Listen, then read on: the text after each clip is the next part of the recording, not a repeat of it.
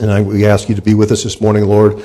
Uh, give us hearts that are obedient to the things we hear as we would walk out of here this morning, Lord. And I pray this and ask it in Jesus' name. Amen.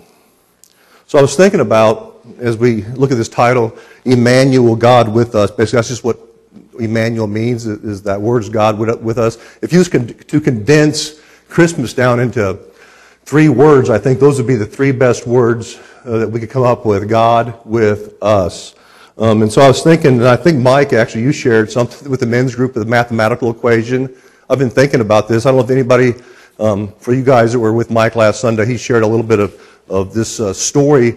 I wanted to share the story because I was thinking about the same story that Mike was sharing with you guys last uh, Sunday in the men's group. Um, there's this pretty famous, popular, whatever you'll call it, uh, mathematician that did, did a probability on Jesus Christ. Basically, what he did was, and if you guys know, there's over 300 um, prophecies in the Old Testament that predicts Christ, different aspects of who he is, his ministry, how he was born, how he's going to die, and how he's going to raise, be raised from the dead. So there was um, a prob- so the probability is this guy, he only does eight. He doesn't do all 300, but he just does eight prophecies. And, and this brilliant mathematician came up with a number that was so, do you remember what the number was, Mike? 10th to the 7th. Who, who here is math, math, good at math? 10th to the, I think, John, I think you're, isn't that 10th to the 17th power?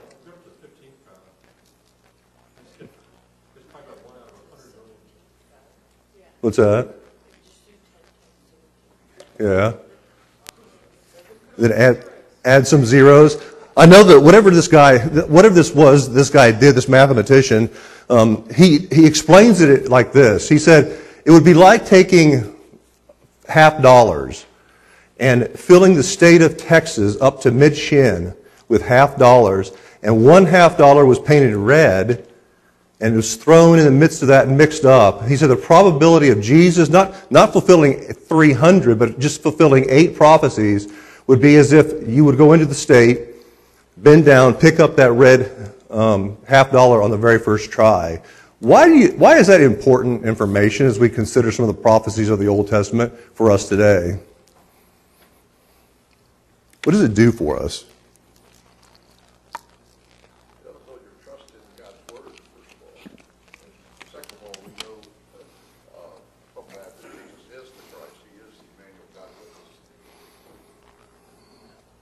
So basically what Mike said is it gives us confidence. That's the very thing that I was thinking about. You know, the fact that Jesus um, is, you know, who he says he was and who he is, it gives us confidence in knowing that we trust and believe in a risen Savior. So I want to look at this morning, like I said, this uh, Christmas message is going to be condensed into these three words, God with us, a very popular um, information that uh, gives us, that's given to us in the Bible. So in Isaiah chapter 7 and verse 14,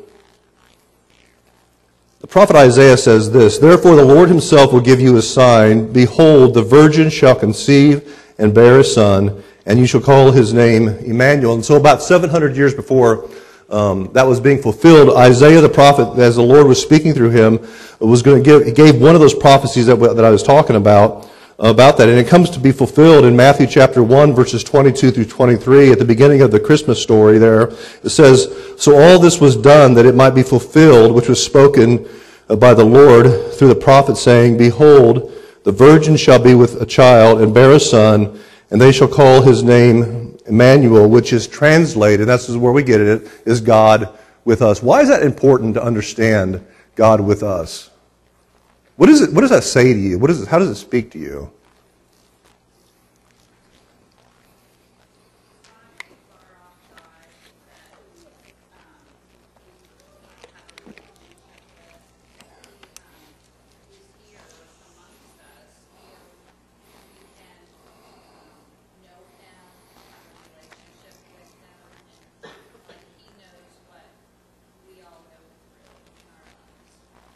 I think that's actually really good what Trey said, is that we have a God that wants to be part of our lives. That's what, that's the difference between, if you look at what Christianity is versus some other religions out here, we have a God that, He, he moved first, He acted first in the saving of, uh, of people, and we see it in this prophecy that's being fulfilled, uh, that, uh, that Jesus is one of His names, um, that he's going to be called is Immanuel, which just simply means God with us. And so as I was thinking about Isaiah 7 and Matthew chapter 1, these two sections of verses, I came up with five things that we're going to look at this morning, or five truths that are, that's about, that's about Jesus, and some things that's important for us to understand this time of the year. The first one that I want to look at is called, G, I just titled it, Jesus, Our Righteousness. Jesus, our righteousness. There's a, a thing in Jeremiah chapter 23 and verse 6 that says this, In his days Judah will be saved. That's the southern kingdom of southern kingdom there in Israel, and Israel will also dwell safely. Now this is his name by which he is will be called the Lord our righteousness. What is righteousness? How would you define righteousness?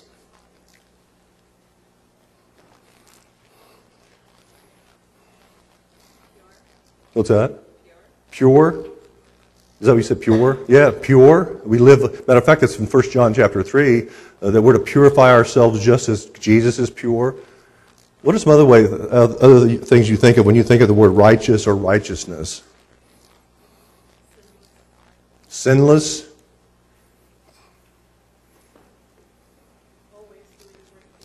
yeah, that's a good way to put it. Yeah, always doing the right thing. Why do you think it's important that we see here in Jeremiah that God is our righteousness. That's one of his names.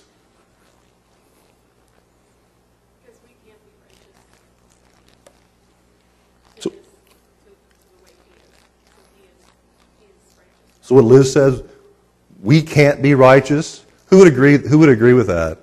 We all, we, none of us are righteous in of ourselves. We don't have anything. That's why it's so important for us as we consider Jeremiah 23, 6 to understand that God is our righteousness. And when we come into a right relationship, we're going to get into that a little bit um, in this next section of verse, or, this next verse, is that Jesus Christ is our righteousness.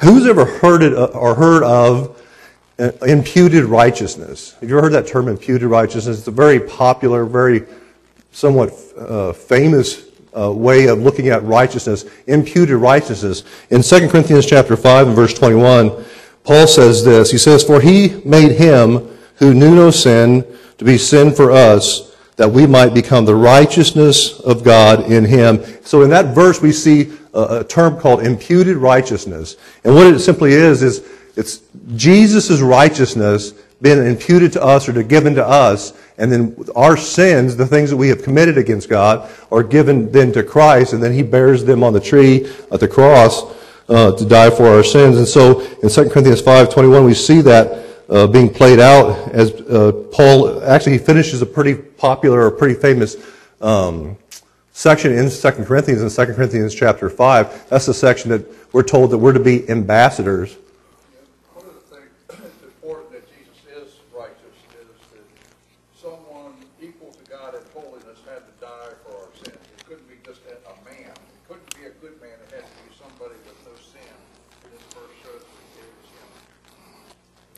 So what Mike said is that um, somebody had to die. So I mean, you consider, um, if you consider, especially the Romans road, when you look at those different uh, verses that are in the book of Romans, where it says Romans three twenty three says that all have sinned and fallen short of the glory of God, and then in Romans six twenty three it says, "For the wages of sin is death, but the gift of God is eternal life in Christ Jesus uh, our Lord." So we look at what Mike was talking about just then. Um, is that Jesus was the perfect sacrifice because he was without sin, that he had to be that way. And so that's what 2 Corinthians 5 and 21 uh, is talking about, is that, is that he gives us his righteousness when we come to faith in Christ, and he takes on our sin, uh, dies, because somebody has to die for sin. So it's going to either be us or it's going to be Christ. There's no, there's nothing outside of that right there. So if you're going to do, matter of fact, there's a, actually it's a pretty sobering verse in Matthew, I think it's Matthew 5, where it says that if our sin, if our, or if our lives, our righteousness doesn't exceed the righteousness of the scribes and Pharisees, we can't go to heaven. What kind of righteousness would that be? Matthew 5, I think it's in the Sermon on the Mount talks, Jesus says that unless your righteousness exceeds the righteousness of the scribes, they're the teachers of the law, and the Pharisees, you will not enter heaven. What kind of righteousness do you think that looks like? And who can accomplish that? What's that? Even like what Mike said, even the Pharisees couldn't couldn't do that. The righteousness. Matter of fact, there's a there's one also. I think it's in. I think it's Matthew. I think it's the, maybe it's the end of Matthew five. It might be the last verse. But Jesus says, Be perfect as your heavenly Father in heaven is perfect. So there's a call for perfection. So since that stuff's in the Bible, what's that, what does that mean? What do you think Jesus is trying to do? That our righteousness must exceed the righteousness of the religious leaders. And then he says to be perfect just as your heavenly Father is perfect. What's that? So actually, Mike said, I, I like what he said. He said, we get to the end of ourselves.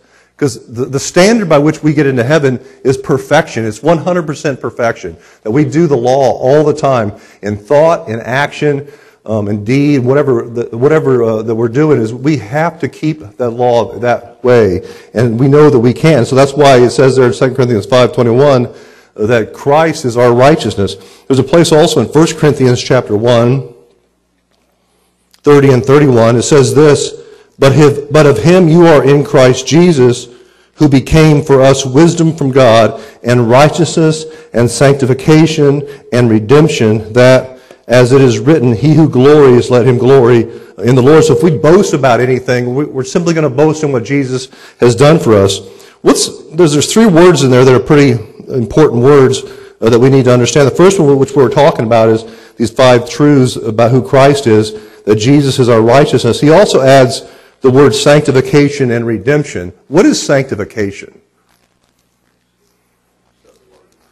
What's that? Be set apart? What's that?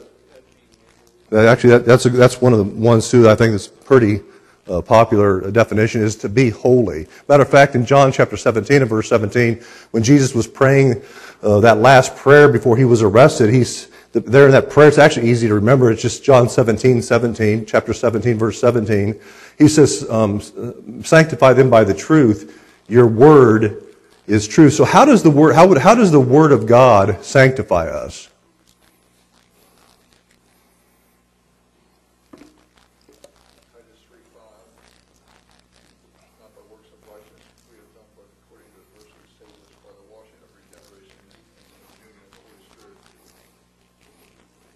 So Mike's quoting out of Titus chapter 3. What do you say, verse, verse 5, 5? That it's through Christ and Him alone that this righteousness comes. That's why it's so important for us uh, to understand that, um, that, that it's His righteousness that is given to us or imputed to us, and then our sins are given to Him, and that Jesus came to die for uh, the sins. This leads us into sec- the second point, where I've simply said, Jesus, our sin bearer. Jesus is our sin bearer. In 1 Peter chapter 2 and verse 24, Peter says this, who himself bore our sins in his body on the tree, uh, or the cross that we see right there, that we, having died to sins, might live for righteousness, by whose stripes you were healed. In that section there in 1 Peter, what is it that we're being healed of or from? He said, By your stripes you have been healed.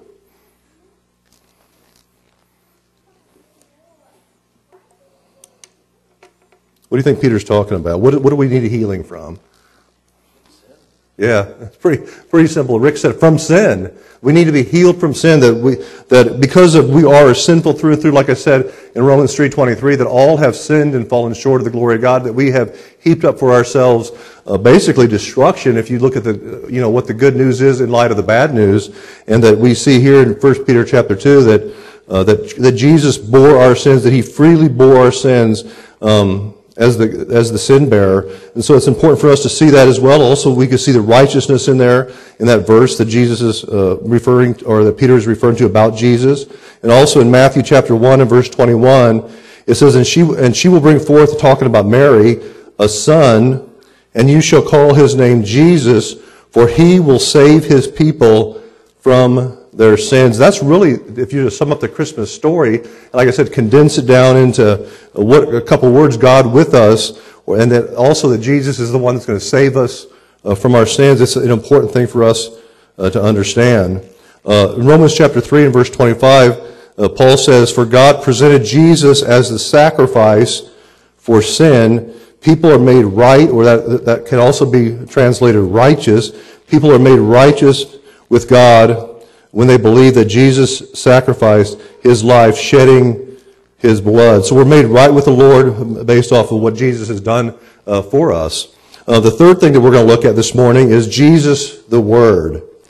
Jesus the Word. So we've kind of looked at Jesus, our righteousness, that we, that he is, that he has given, or he has given to us his righteousness as we take on, uh, as he takes on our sins. And then the second point there, Jesus, our sin bearer, that he died for the sin. That's the reason why he came. If you kind of sum it up in one little sentence, that Jesus came to die for sinners. Matter of fact, that's what uh, Luke chapter 19 and verse 10 says, that he came to seek and to save the lost. And so now, Jesus is the Word. Um, in John chapter 1, Scripture tells us, In the beginning was the Word, and the Word was with God, and the Word was God. He was in the beginning with God, and all things were made through him, and without him nothing was made that was made. Then in verse 14 it says, And the Word became flesh and dwelt among us, and we beheld his glory, the glory as the only begotten of the Father, full of grace and truth. So the, the, that section of scriptures we're talking about Jesus being the Word, it says that the Word became flesh. Do you ever, I mean, do you ever consider Jesus as being like the Word of God? Do you ever think about that?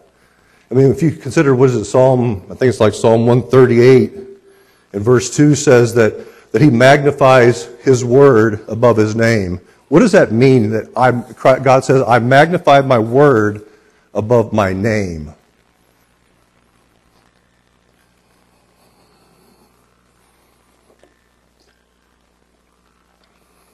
Who does he, who's he magnifying? God magnifies his word above his name. Christ. Who said that? Megan? so there's like a, there's like a whisper going on through the congregation this morning. Yeah, just simply Christ. Um, whenever uh, God says that in Psalm 138, that I magnify my word above my name, He magnifies the very person of Jesus Christ, as well as the written word. And so uh, we see here in John chapter 1 uh, that the word became flesh and dwelt among us. Uh, it was the very word of God. So if you want to, if you're interested in who God is, you know, is there a God out there? Is there someone out there uh, that has spoke or is speaking? Is there a God that's created uh, the things that we see and even some of the invisible things we don't understand and see? You know, is he out there? And, and what basically the Bible teaches us is, is that we look to Christ. You know, if you want to know, if you want to know what God thinks, read the Bible. Look to Christ. What, how does Jesus think? If you want to see how God behaves, how he acts, you look at the person of Jesus Christ. And that's why I think he says that in Psalm 138 is that he magnifies um, him, his, the word above all of his name. Now, this is just a side note as I was thinking about this right now as I was reading it. There in John chapter 1, it says, In the beginning was the Word, and the Word was with God, and the Word was God. Where it says, and the Word was God, if you put an A, the letter A, in front of Word right there, so it would read, and the Word and the Word was a God. I'm sorry, you put it right. What does that do to that verse? What's that?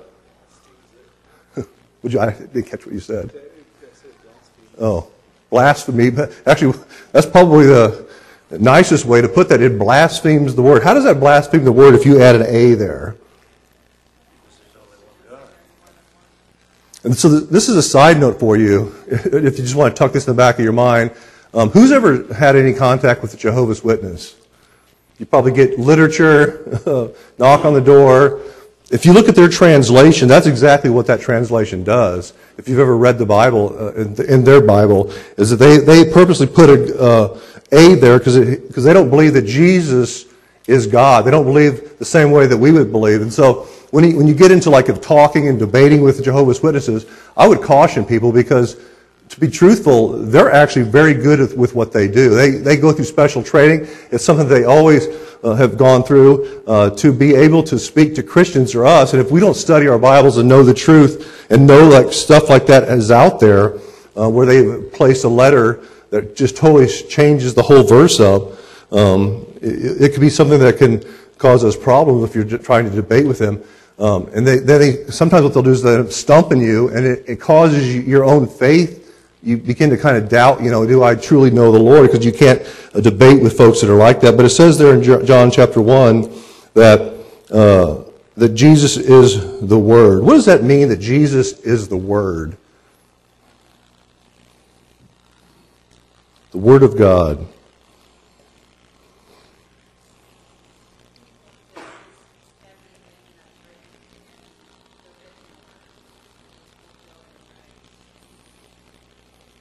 So Tracy said everything that is in the, basically the written word as we look at the Bible, and most of you guys know whenever you come here on a Sunday morning, that's what we predominantly look at. Actually, I got, uh, I was listening to a gentleman named Steve Lawson, and he says there's two kind of pastors in the world, those who preach from the Bible and those that need to be fired.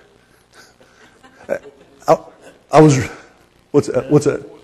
Uh, he said there's two, I was reading this, I don't know if you know Steve Lawson, he's friends with John MacArthur, but he said there's two types of preachers in the world ones that preach from the Bible and ones that need fired. Because they don't preach from the Bible. You know, when I read that, I mean, it's a pretty challenging statement whenever, if you consider uh, what uh, Steve Lawson was saying. You know, that's one of the reasons why, um, one of the reasons why I just predominantly use the Bible. I mean, my opinion and the things that I think doesn't necessarily matter. I mean, there's going to be times, obviously, I give my opinion, but, I, but, but I, what I should be doing is making sure that it is according to God's Word, that as we see here, Jesus is the Word of God. And what Tracy said is that the reality is, uh, and Jesus said this, that we'll be judged by the Word one day. So what he basically, what, that, what Jesus meant when he said that was simply when the Bible is opened up and all the things that are in the Bible is what's going to judge us according to how we've lived our lives. And if we have Jesus as our righteousness, we're going to be found not guilty. But if we haven't accepted Christ, if we haven't um, come to that understanding of who Christ is, that He is our righteousness, that He is our sin bearer, uh, we'll have to take it on ourselves, and it's just something that we can't do. So we see here in, in the third point here, Jesus being the Word of God. You know, as I was thinking about that, I was thinking about our church and where we're go- like where are we going from here? What would you say in this past year that there's been, what successes do you, would you say that we've had in this church as we're look, looking at 2021?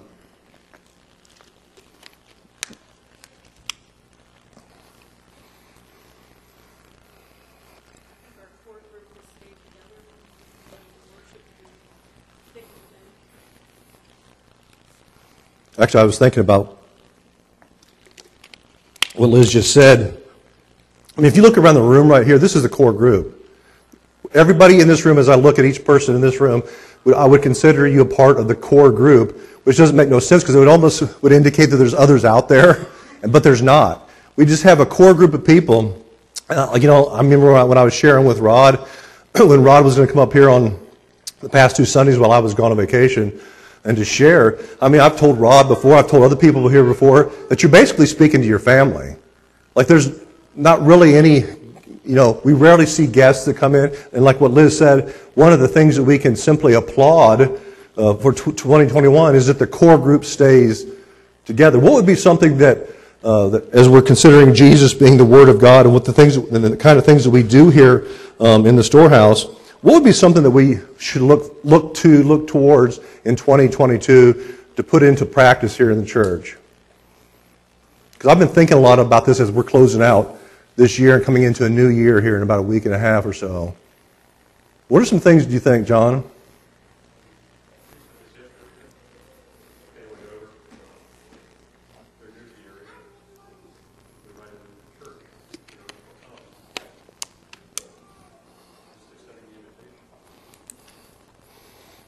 So John was talking about uh, in having a family over at their place um, I mean, that's one of the things that I think that we should be really focusing on as we move in um, to 2022 is that we do have a core group of people here. And I think that all of us are pretty tight. Um, I think that the Lord is pleased with what we do. I know that one of the focuses, from my standpoint anyways, uh, that I have put into practice here is to making sure that we're going to be in God's Word. And I, as I was thinking about 2022, that's what I think I'm going to do. I'm going to be focusing a lot more on when we do like our Sunday evening studies um, and some other things that we're going to start going through the Bible. Who here would admit that you need to know the Bible better than you do? All of us, I think we're all in that. I mean, I need to be reading it more. And so as, um, as we go into 2022, I think what I'm going to focus on is on Sunday mornings, we're going to start going through New Testament books and knowing what these books or these letters have to say for us. And then on the evening, Sunday evenings, we're going to go through the Old Testament. I'm going to be honest with you that's going to cause me to have to really study because if I'm honest, I don't know the Old Testament like I should, like, like I know, know the New. Um, the New Testament is basically where I spend a lot, a lot of my reading Um, on occasions, I do go to the Old Testament, look at some things, but it's important for us to know Genesis uh, through Revelation. And based off of what we're looking at here, um, this third point, Jesus being the Word, um, he reveals to us things that's in His Word. Um, if you consider like what uh, uh, Paul says, what's it, the Second Timothy chapter three, uh, verses I think it's like like verse 15 through verse 17. Uh, it, it says that God's Word basically is breathed out. It's profitable for doctrine, for correction, for rebuke, and for training in righteousness that we might be thoroughly equipped and, re- and prepared for every good word. And so if you look at that section in 2 Timothy chapter 3, verses 15 through 17, basically what Paul is telling us is, is that we should know the Bible. The Bible is the, what gives us the doctrine. What's doc, what, what does the word doctrine mean? That is profitable for doctrine. And is, do, and is doctrine important?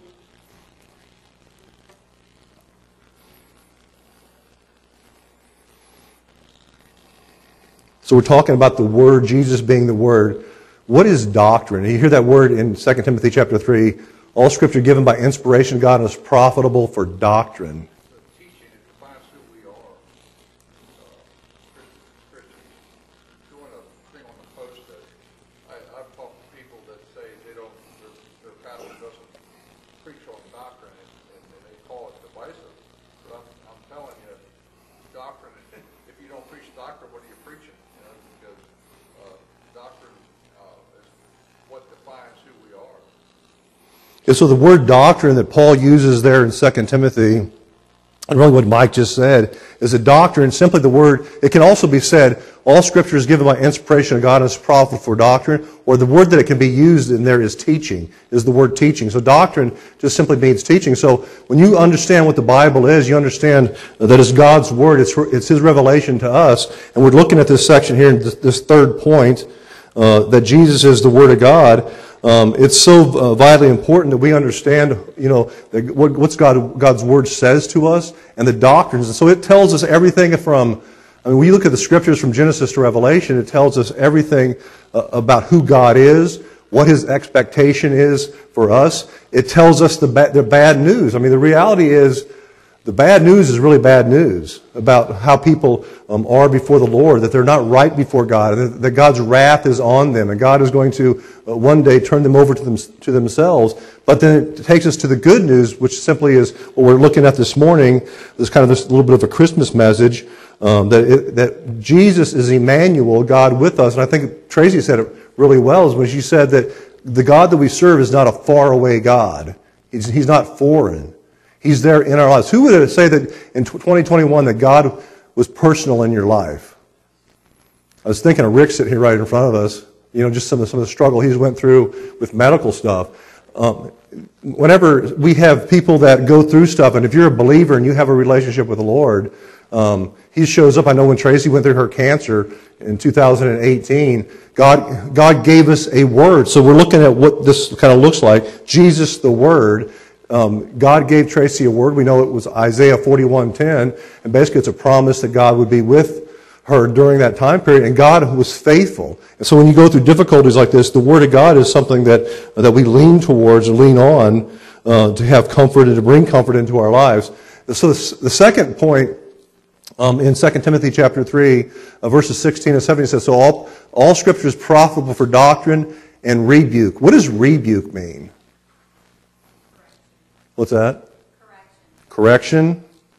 If you're, if you're going to be rebuked, if you ever kind of use that in a sentence, that if we kind of like to say, the Lord rebuked me, what would that, what would that look like?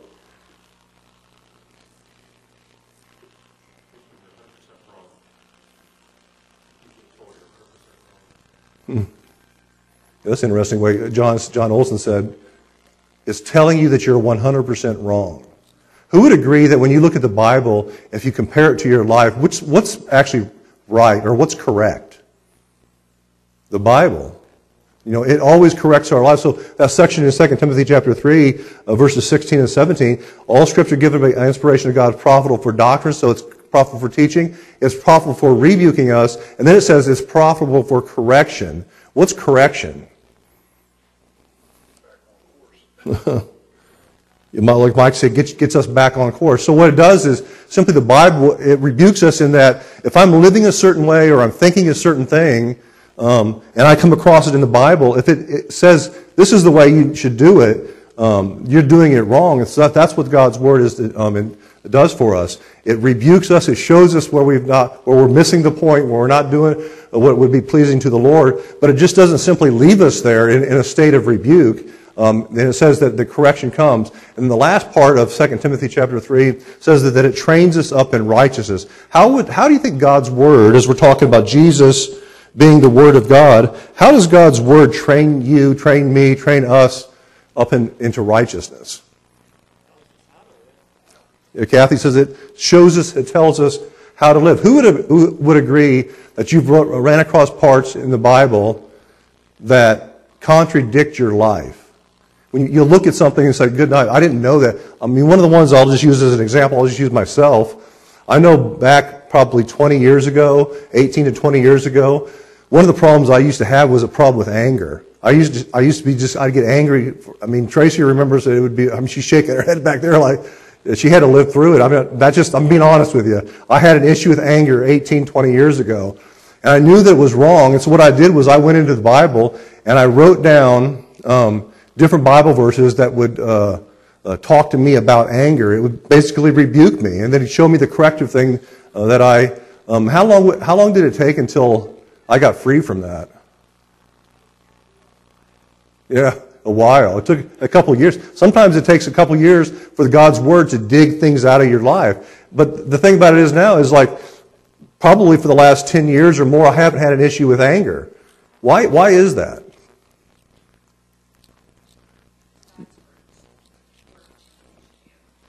Yeah, like Tracy just said, God's word changed me. So anytime that I was, uh, if anybody here's have ever had a problem with anger, I always say it starts in the lower part of your abdomen. It kind of comes up. If you ever feel that it comes, it starts to circulate, it starts to move up, it coming, it's getting hot. You can just feel like when you're getting angry. I, I used to feel that way a lot, and obviously Tracy being married to me, I had to deal with a lot of that crazy stuff that I had to do. Um, but what I would do with the Bible verses is I would simply uh, read the Bible verses, uh, put a lot of them to memory, and when I would start to feel that uh, coming up, I would read the verse and I would start meditating on the verse, and the anger would, would subside, it would go away. And you could do that really if you struggle with anything in life. You know, the Bible has something to say. I'm, I'm pretty confident to say that the Bible has something to say for everything that we go through.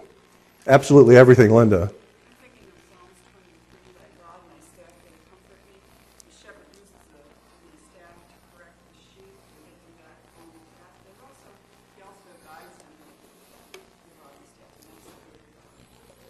So Linda was talking about Psalm 23, you, that section where in there where it talks about the rod and the staff, they comfort me. How, does, how do you think Jesus comforts us by using the rod? We, we might understand the staff because the staff, you know, it's got a hook on it, and they would use that thing to guide the sheep and to put the sheep back into where they're supposed to go. Well, how is it that, that a rod is a, something positive for, for us?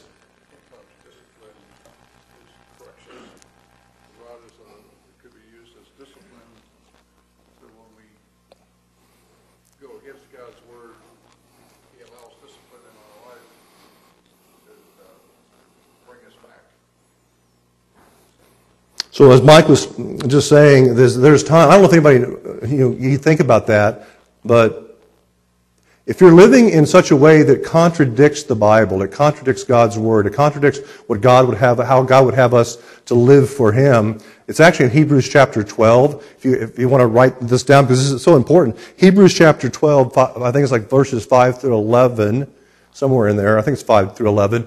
It talks about those that God loves, He rebukes and chastens. Is that, do you think that's a loving thing for God to do? Just meet someone who does not discipline their children and meet their children and how they go off the path usually. That's not love to allow your child to do whatever. Um, it, I always look at us, we're like children, and God has to treat us like children. So, Liz, I don't know if anybody's ever dealt with kids. Actually, I was just kind of laughing because uh, when Caleb, Caleb and Abby actually flew out to California to spend the Christmas with her parents, and C- Caleb sent us a text and said, "What was it? They had a bad kid." in the plane. It was like right in front of, I think what Caleb was texting is that there was a kid there that was whining and crying, and he did it for the, almost the whole five hour flight. Um, so, what, what, what Liz has said, said is, you can, if you look at somebody as being parents and their, and their kids are really bad, it says, it says a lot really about the parents. And, uh, but the reality is, and I'm sure you've heard this before, is who would agree that children actually want discipline? I don't know if you've ever heard that they actually want it. They want, I think what they do is they, they want somebody to care for them. And it, it, if you consider Hebrews chapter 5, uh, the, whom the Lord rebukes, he chastens. He chastens and rebukes. It says that the people that he loves, in the same way that a father rebukes or chastens uh, their children. There's nothing wrong with uh, doing a gentle, having a gentle rebuke in your children's life. But the thing about it is, God also uh, does that too in our lives. I've gone through times in my life where I would simply say, I went through a season of God's chastening where He comes in, and He brings a chastening hand, but it's a good thing that if you're being chastened, because it, it shows you that you're a son. Chuck Swindoll uh, was softened on that verse, and he said chastening actually skinned alive. so sometimes God's chastening can be brutal. Mike said that if you guys know Chuck Swindoll, he said that uh, that word actually means to be skinned alive. That sometimes, who knows that sometimes God has to spank you? He just simply does. I mean, I don't know how, how that looks. Uh, you'll know if you're going through it. There's actually two things in Hebrews chapter 5 verses, um, I'm sorry, Hebrews 12 verses 5 through 11.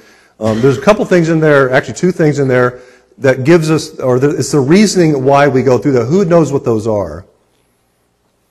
If you know the section.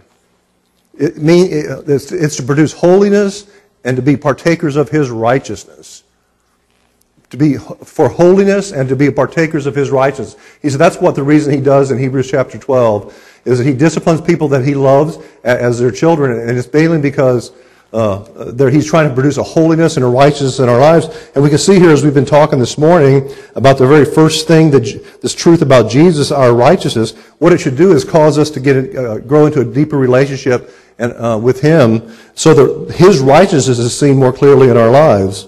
Let's move on now for the, the fourth point. Jesus is God in the flesh. Jesus is God in the flesh. There's a place in John chapter 14.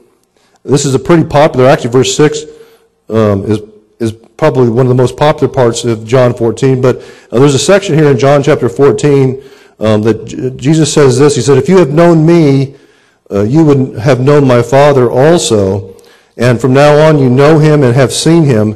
And it says, Philip said to him, Lord, show us the Father, and it is sufficient for us.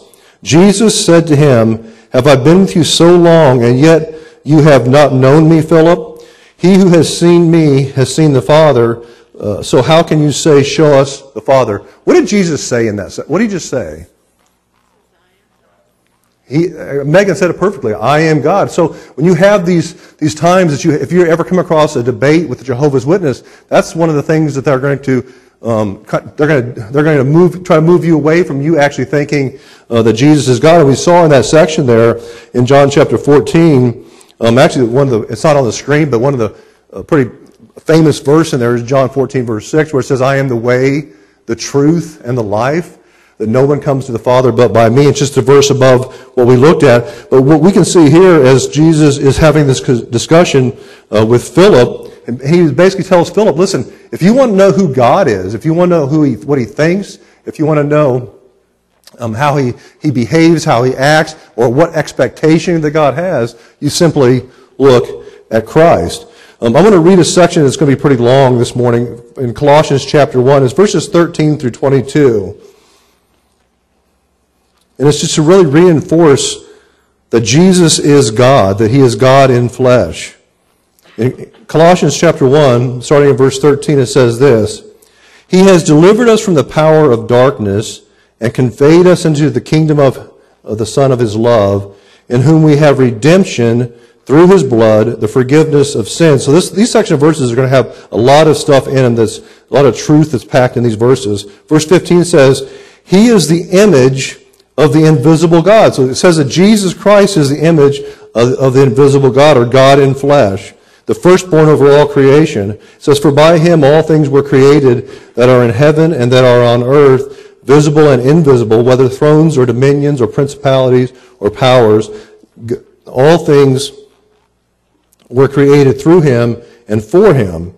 And for, and he is before all things, and in him all things consist. And he is the head of the body, the church, as Christ is the head of the church, who is the beginning, the firstborn from the dead, that in all things he may have the preeminence. For it pleased the Father that in him all the fullness should dwell. So if you want to know who God is, the fullness of an, of an infinite God, you look at Christ, that's basically what he says there in verse, verse 19. And then it continues in verse 20 and says, And by him uh, to reconcile all things to himself, by him, whether things on earth or things in heaven, having made peace through the blood of his, of his cross, and you who once were alienated and enemies in your mind by wicked works, yet now he has reconciled in the body of his flesh through death to present you holy and blameless and above reproach in his sight. So I know there's a lot what I just read there.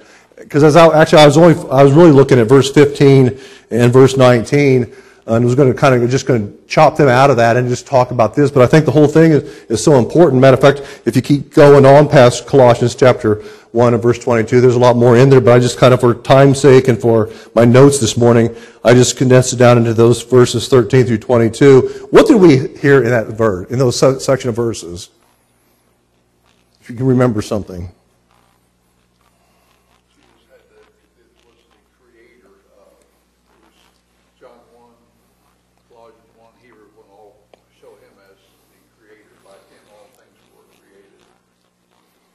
So Mike says that, that Jesus is the creator God. I mean, we see there in that section where it talks about the things that were made, that's the things that are visible and invisible. Jesus made them and he made them for himself. Um, and, and, he says that he is the head of the church. But what he says there in verse 15 is that he is the image of the invisible God. So if you want to know who God is, if you want to see who God is, or you want to know what he thinks, you look to what Christ had to say. You look to what Christ thinks. Because it says there in verse 19, For it pleased the Father that in him all the fullness should dwell. So all of what God is going to reveal to us has been displayed in the person of Jesus Christ. And so it's important for us to understand that Jesus is God in the flesh. And so if you ever have those times when you are going to be in a debate with anybody, it doesn't matter if it's Jehovah's Witness or the Mormons or uh, different people, uh, there's a lot of people out there, Christian Science does the same thing. I don't, I don't want to just pick on the Jehovah's Witness or the Mormons, but they all have a different what about Jesus. What is it that they teach about Jesus? Do you guys know?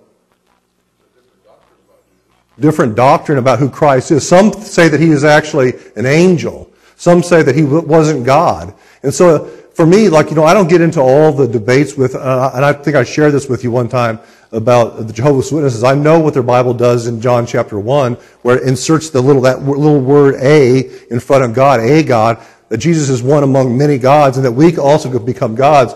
I remember one time I had a, um, I think it was me and Trace was sitting over there when we lived on the Williamsport Pike, and we got a knock, knock at the door, and I looked out the little oval window, and I remember thinking first like, ah, I don't really want to do this. I don't want to go out because I know, I mean, I saw him and I, I could have simply not answered the door, but I decided to answer the door and I went out. And we sat out in the driveway and talking about the things about who Christ was. And I can remember just sharing with him simply, you guys don't have anything to give me. I, I am at perfect peace with my relationship with the Lord. And, you know, and, and uh, they, they were trying to get me or entice me into a debate or an argument with them, but I just never went there. And so basically it foiled whatever plan they had um, for me or how, whatever they wanted to do to me, trying to get me converted from being a Jehovah's Witness into being, uh, or from being a Christian into being a Jehovah's Witness. And the last point that we're going to look at this morning is, is point number five, or the five truths about Jesus.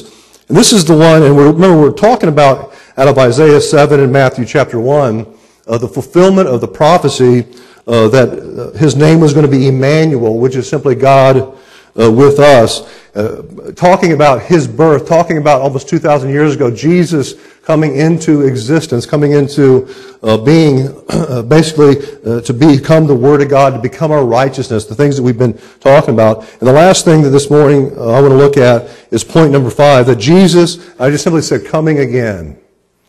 Who knows Christ is coming again? Who believes that Christ, Christ's second coming is closer than a couple of hands going up. I, I am convinced that we're, live, we're obviously living much closer to his second coming than his first coming. His first coming was almost 2,000 years ago, but his second coming, I believe we're right at the doorstep. Um, Tanner actually, I think, he sent me something to read this past week or so when I was in Illinois about some of the players that are uh, beginning to take place in, um, in, in Israel, around Israel, some of the big players that in the end time prophecy of Ezekiel 38 and 39, as well as uh, Ezekiel chapter 37, but specifically verses 38 and 39, God tells us in the same way that He told us here in Isaiah 7 who to look for is simply this Immanuel God with us, being the fulfillment of Christ, that there are things taking place right now in the Middle East that is fulfillment to Bible prophecy. And those things, and, and Bible prophecy experts are kind of, I don't say that they're, they're contradicting one another, but some, some of them think that the rapture of the church is going to take place before this attempted invasion of Israel. And you look at some of these practical things that we talk about like that, is simply all pointing to Jesus is coming back. Jesus is coming back. And that's what I want to read this morning in John chapter 14. As I was considering, so I was looking at Acts chapter 1 and some other places uh, to, to have a verse up here that can just talk about Jesus' second coming. I wanted to, to basically look at this verse here in John chapter 14 because it speaks comfort to me. But in John chapter 14, starting in verse 1, it says this, Let not your heart be troubled. You believe in God, believe also in me. In my Father's house are many mansions. If it were not so, I would have told you. I go to prepare a place for you, and if I go and prepare a place for you, I will come again and receive you to myself, that where I am, there you may also be. And where I go, you know, and the way you know. Thomas said to him, Lord, we do not know where you are going, and how, you, and how can we know the way?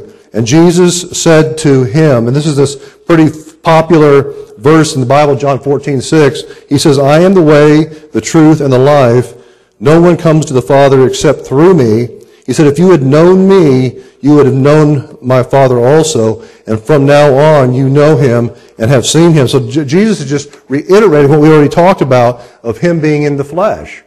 That Jesus is God. And then the other truth that we saw in here is that uh, Jesus said that he's going away to prepare a place and that he's going to come back one day and take us to himself. And I'm convinced that that, day is rapidly approaching, that Jesus is coming back. And so, what, what are some of the practical things that we can uh, talk about out of John uh, chapter 14 that Jesus is coming back? It's just simply this. You, you hear a lot of folks talking about the second coming, and when, when there's, a lot of, there's a lot of people out there that don't understand his first coming. It's important for us to share, you know, this time of year, maybe we're going to have opportunities uh, this Thursday when we go caroling to talk to some folks, to tell them about Jesus coming in flesh, that Jesus uh, is the prophesied uh, Messiah that we're, we're, seeing here in um, Isaiah chapter 7, that we can share Christ with other people. And, and this is a great time of the year to do that. Um, is to share Christ with people, to talk about his first coming, to talk about uh, why he came and why it's important that they understand who Jesus is, because one day they're going to go and meet him. Uh, so with that being said, let's close this morning. Does anybody got any thoughts? Anything to add? Mm-hmm.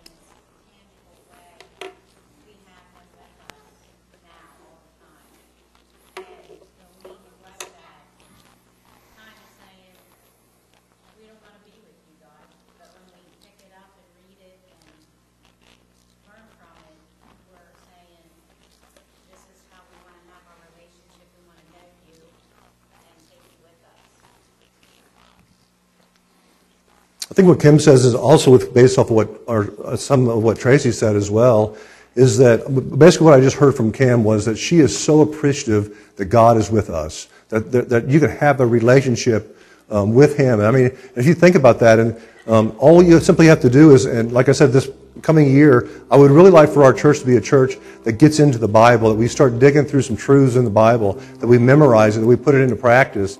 And like what Kim was saying, is that God is right there. He's just simply a a, page, a page is being opened, a page being turned, a page being read and thought about and meditated on. And so that's why it's vitally important for us to know the Bible because it's the revelation that God has given us to have a relationship with Jesus Christ. That's so key. Anybody else got anything else to add this morning? Let's close in a word of prayer. Father,